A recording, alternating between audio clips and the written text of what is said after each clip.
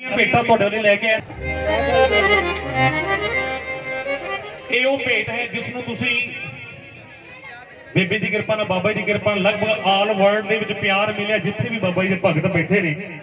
ਤੁਸੀਂ ਬੜਾ ਇਸ ਨੂੰ ਪਿਆਰ ਦਿੱਤੇ ਕਿ ਮੇਰਾ ਆ ਗਿਆ ਖੇਤਪਾਲ ਬਾਬਾ ਤੇ ਜਿਹਦੇ ਚੱਲਦਾ ਹੈ ਨਾਲ ਖਵਾਜ਼ਾ ਤੇ ਗੁੱਟਾਂ ਤੇ ਮਸਾਣੀ ਖਵਾਜਾ ਜੀ।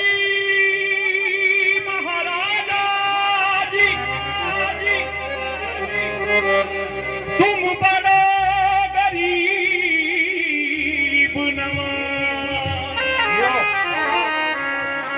कृपा करियो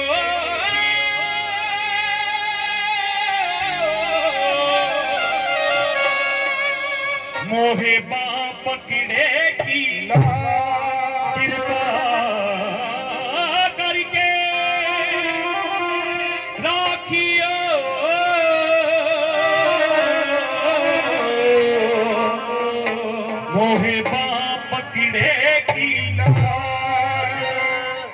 ਹੋ ਮੇਰਾ ਆ ਗਿਆ ਖੇਤ ਪਰ ਬਾਵਾ। ਤੇ ਜੀ ਦੇ ਚੱਲਦਾ ਏ ਨਾਲ ਖਵਾਜਾ ਖਵਾਜਾ। ਕਿ ਗੁੱਟਾਂ ਤੇ ਮਸਾਣੀ ਖੇਡਦੀ। ਜੈਕਾਰਾ ਮਸਾਣੀ ਰਾਣੀ ਦਾ। ਜੈਕਾਰਾ ਖਵਾਜਾ ਜੀ ਮਹਾਰਾਜ ਦਾ। ਆਓ, ਲਾਈਏ ਉਸੇ ਤਰ੍ਹਾਂ ਹਾਜ਼ਰੀ ਤਾਲੀ ਲਗਾਉਂਦੇ ਹੋਏ ਬੇਬੇ ਚਰਨਾਂ ਦੇ ਵਿੱਚ। ਆਓ, ਮਿਲ ਕੇ ਲਾਈਏ ਹਾਜ਼ਰੀ, ਕੀ ਕਹਿੰਦੇ ਜੀ? ਹੋ ਮੇਰਾ ਆ ਗਿਆ ਖੇਤ।